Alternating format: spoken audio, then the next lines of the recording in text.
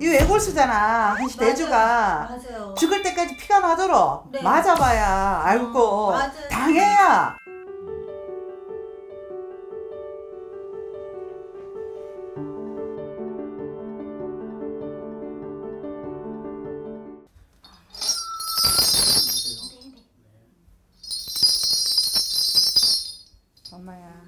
이 나이 때까지는 잘 먹고 잘 살았네 아 네. 어?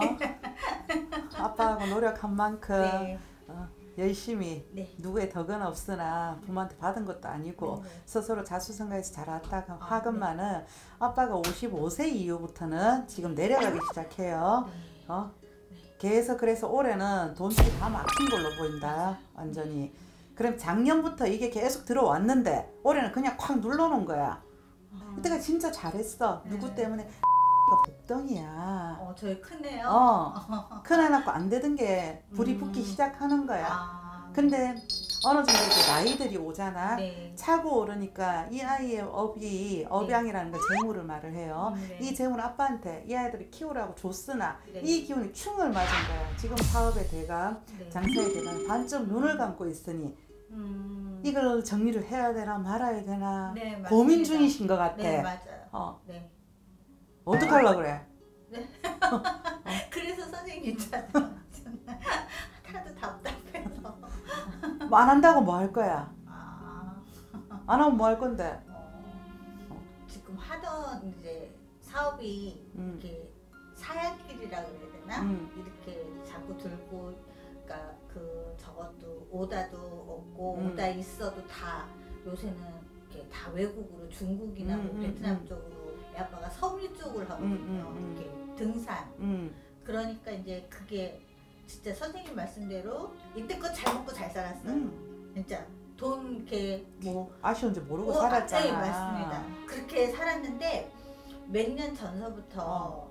이제 애 아빠 사업이 이제 자꾸 기울기 시작하지. 네, 잘 안 되고 이렇게 하다가 이제 그러니까 애 아빠가 공장이 이제 두 개가 있었는데 선생님 말씀하신 대로 한 개를 작년에 진짜 어렵게 막 근데 질질 끌었을 거야. 질질 진짜 1년을 뭐 찔끔찔끔 음. 그것도 제대로 못 받고 음. 저희가 이제 급하다 보니까 그러면 2, 3년 57배는 아빠 네. 사이 나이의 운세가 네. 57배는 변화를 주든지 그때부터 뭔가 다른 걸 하든지 아. 공장을 따로 이동을 완전히 하든지 음. 뭔가 바꾸라 했는데 이 외골수잖아 한시 맞아요. 대주가 맞아요. 죽을 때까지 피가 나도록 네. 맞아봐야 알고 어.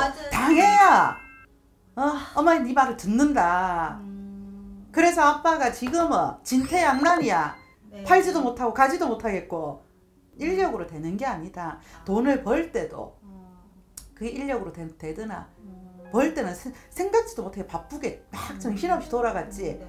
근데 안 되려고 하니까 음, 뭔지 모르게 우린 똑같이 하고 더 열심히 하고 노하우도 그만큼 더 많고 음, 맞잖아. 그만큼 우리가 뭐지? 실수도 더 많이 안 하고 음. 더 보완해서 하는데 네. 왜 막혔을까? 현실은 맞아. 지금 공장들이 다 외국 나가고 베트남 다 나가는 거 맞지? 그렇다고 다 나간 거 아니잖아. 네네. 왜 아빠 사업체 음, 이 오다들이 다 딴 데로 셀까? 아까 그랬잖아. 사업대가 이때가 돈 벌어준 할아버지가 눈을 반쯤 까, 감고 있고 왜 감으셨을까요? 안 알아주니까 돈 벌어줘도 누구 잘났다고 쓰고 어 그래도 작년에는 열심히 했는데. 돈 벌어줘도 음. 음. 이때까지는 엄마가 내가 뭐 조상을 하든 음. 쉽게 말하면 재수를 받든 네. 나름은 했다 했지만 성현 음. 아이들 사주를 봐 신이야 그래서 이게 진짜 막힌 게 한 3년 됐을 거야 네. 어, 왜 그게 성주 운이고 대운인데 이때 할아버지를 찾아라 사업 대감을 제대로 찾아서 터를 터신이랑 네. 합수해서 그렇게 다시 불꽃을 피우지 않으면 내려간다라고 암시를 주고 그때부터 돈을 맡기 시작했어. 안 그러면 대주의 명이 건강운도 안 좋게 같이 들어오거든 지금. 아, 그래서 건강을 더 악화시킬 수 없으니 음. 돈을 잠시 막았던 거야. 아까는 네. 돈이 없어도 아프겠지만 음. 음, 쉽게 말을 하면 음. 그러면 아이들 사주를 보고 이 전체의 사주를 보면 신명줄 억수로 센 집이야. 저희 집이요. 음. 자손들의 사주를 보면 음. 신감이야 다. 그래서 업 대감, 사업 대감, 명예 대감, 음. 출세 대감들이 엄청 센 집이야. 네. 그래서 아빠한테 돈을 줬다. 음. 왜? 아들, 야 아이들은 음, 딸이지만 남자 못지게 하나는 해처럼 하나는 달처럼 빛내 보자고. 머리는 상당히 좋아. 일 안 풀려. 지가 가지고 있는 역량만큼 못 푼다고. 그게 2, 3년도 지금 같이 막혀서 이렇게 묶여 묶여 있는 거야. 음. 그런 고를 안 풀다 보니까 지금 이제 표가 나는 거야. 부처님한테 가서 빌 줄만 알았지. 이 신명주를 찾아보지를 않았잖아. 조상이야, 뭐 조부 조모, 뭐 정조 다 계시니까 절에 가면 천도제도 해주고 뭐 나름 네. 나름은 했겠지만 신이 신은 사람한테 운이고 엄마 명기야. 음. 이 줄이 엄청 센 집인데 그걸 모르니까. 그쵸, 저희는 음, 왜 아까 그랬잖아. 2, 3년 전까지만 잘 먹고 잘 네, 살았으니까. 맞아. 어, 이게 다 부처님 공덕인가 보다 하고 그냥 절에 열심히 가고 고시 많이 하고 네. 그지 하지만 이제는 찾아라 왜 엄마가 찾아야 아빠도 풀어주지만 자식들도 풀어주니까 이걸 정리를 해도 엄마 아까 그랬지 정리를 하고도 그 사업을 할 때 아빠한테 기운을 줘야 그 사업도 하지 안 그러면 아, 공장은 내년 되면 어떻게든 인연은 오기는 와 내년이요? 음, 올해는 어차피 안 되고 내년 되면. 오는데 엄청 느리고 더디고 어, 질질 끌릴 일이 생기고. 어, 힘들다. 어, 그리고 이 사업도 계속 늦어지고 그 사업을 다른 걸로 할라 해도 음. 아빠가 친다. 음. 산을 개발하려고 하면 아빠 명의 갈 일이 생기고 아빠가 아플 일이 생긴다 사장님이 그래서 이걸 전체적으로 신화 전체를 보거든 한 가지만 보는 게 아니고 그래서 기운이 기운을 다 많이 써먹었으니 이제 채워라 라고 음. 3년 전부터 56세, 7세 이때부터 할아버지가 그만 날 찾고 해라 하고 눌려놓으니까 돈줄도 막히고 오다 맞아. 끊기고 3년 전부터 진짜 힘들어. 그래 일곱 성주에 할아버지가 들어오셔서 나와 함께 하자 이미 알려줬는데 몰랐은 몰랐던 거야 본인들이 근데 선생님 애들은 음. 저기 뭐야 큰 놈이 이제 큰 애가 이제 결혼을 하거든요. 12월 달에. 음, 근데 얘가 지금 외국계 회사를 다니긴 하는데 천안이에요. 음, 그래서 얘가 시집을 결혼을 하면 서울에서 왔다 갔다를 해야 되는데 이 천안이 너무 머니까 두 애들이 다 지금 이직을 하고 싶어 하거든요. 음. 이렇게 회사를 좀 옮겼으면 좋겠는데 그거는 좀 될까요? 애들은 괜찮아 애들은요? 어. 잘 살까요? 애들은? 내가 이제 애들은 멋지다 사주들이 아, 어, 그러니까 걱정 없이 걱정 없이? 살아 아, 내가 제일 걱정하는 우리 대주님이 제일 걱정이야. 저도 그렇게 어, 생각해요.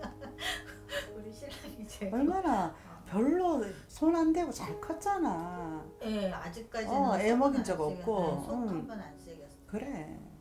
그래서 애들 걱정보다는 네. 대주 걱정해주고, 음, 네.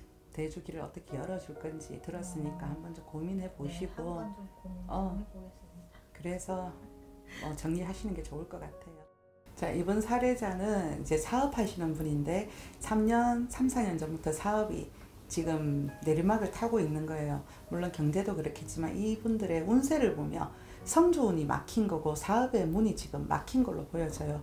그리고 중간에 이제 잘못된 이제 굿을 하다 보니까 더더욱 막힌 거고 지금 현재는 아무리 바꾸려고 하고 매매운은 아직은 없다 보니 내년까지는 조금 고력을 겪고 나면 괜찮으실 것 같아요.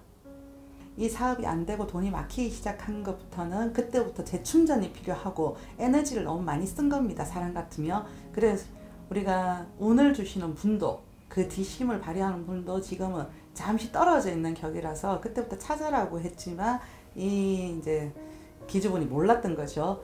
그러면서 굿은 하긴 했으나 이제 잘못되게 구설하고 그분을 못 찾다 보니 좀 더더 휘말린 것 같고 신주 단위를 모셨다가 없앴는 영향력으로 해서 벌전이 들어온 거죠. 그래서 올해까지는 조금 힘들고 내년도 움직이면 이동수는 분명히 있다고 하나 그렇게 쉽게 지금부터 가기는 조금 힘들 것 같아요. 잘 설명을 해주셔갖고 제가 이때 거는 몰랐던 거를 이제 좀 앞으로는 어떻게 할까 한번 좀 그것도 진지하게 고민도 해봐야 될 것 같고 하여튼 좋았어요. 네. 앞으로는 선생님 말씀을 좀 듣고 집에 가서 한번 좀 잘 생각 좀 해봐야 될 것 같아요.